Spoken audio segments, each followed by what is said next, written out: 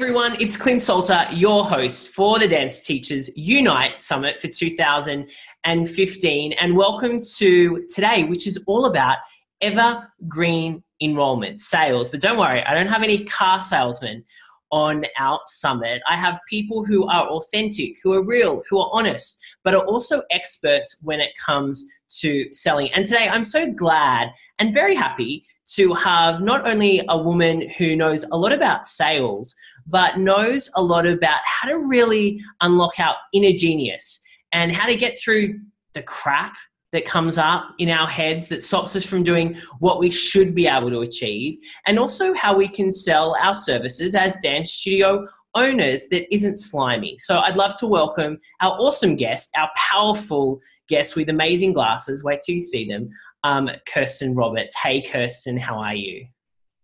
What an awesome introduction. So that needs a bit of a hell yeah right back at you. Mm-hmm. Thank you for having me. Really looking forward to today. Yeah, can't wait to dig into this conversation. Now, Kirsten, for those that don't know much about you, can you tell us in 60 seconds who you are, what you do, who you help, and what's your big mission in the world?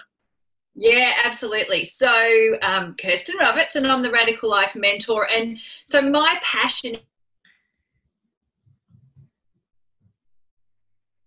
is about helping women break through the bullshit in their head. Their really dive. Sorry, we lost you a bit there. Really dive into their um, genius that's inside them and find their their unique passions, their unique skills, and so forth, and help them build businesses that they love.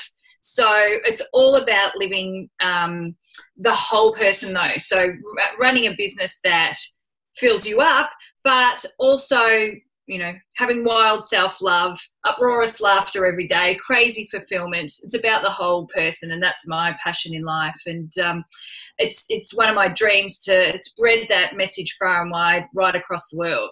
Yeah, and I think that that's a message that's going to resonate really well with our studio owners because they're working hard in their business. They love what they do, but they sometimes feel like they don't have time for a life outside of their business. And I know that you're all about, you know, having, I don't like using the word balance, but so many of us understand that concept of balance. And I know you're passionate about you know rocking your business and and affecting a lot of people and making sure your business is profitable but also looking after yourself as as well and making sure you're spending that time with your family what are some tips before we jump into the juicy sales stuff I'd love to hear some tips from you about how we can accomplish that in our lives as studio owners, as mothers, as fathers, as daughters, as husbands, as wives.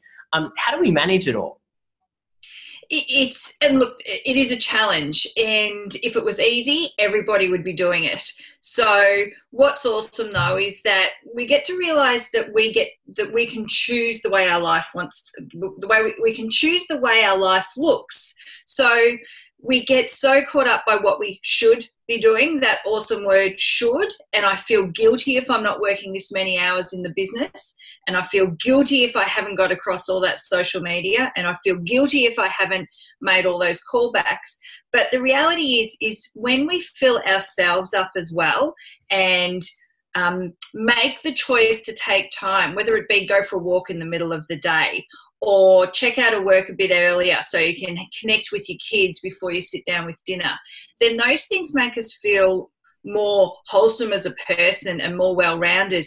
When we're getting filled up from other sources, then we're actually better business people. We're more visionary, we're more productive, we're more energetic.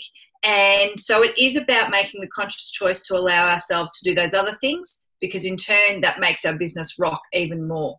Mm, such an important message for our studio owners to hear because I know when I talk to them and say, you need at least one day off a week, you know, take Sunday off. And they're like, Clint, but I don't have time. I've got all these things to do. And I'm always saying, hey, look, we all know the studies have been done. When you're on your deathbed, do you say, I just wish I spent more time at work? No, we're not saying that. We're, we're saying, I wish I spent more time with my children when they were growing up.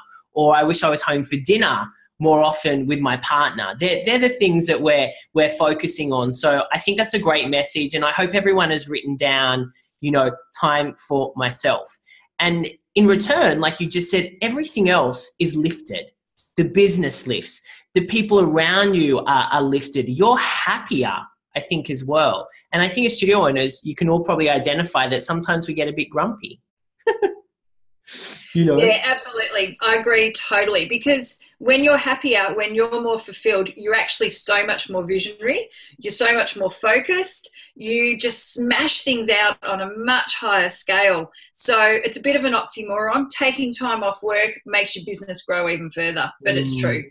Oh, and and I agree with you, and I and I've seen it in my business as well with our studio owners, um, who said I took a week off to Mexico and it was amazing. We got new enrollments and I came back refreshed and I had more ideas and we loved that. We loved that. So let's jump in because today's conversation is really about sales. And as a studio owner, we think that you know we we start our studio because we love dance and we love children and we love teaching dance. Um, we generally don't start because there's a big commercial gap in the in the market for us to start a dance studio and, and, and make lots of money. It doesn't generally work that way. But we know to have a sustainable business, a business that lasts, we need to sell our classes. We need to sell our services and our products to potential parents and students.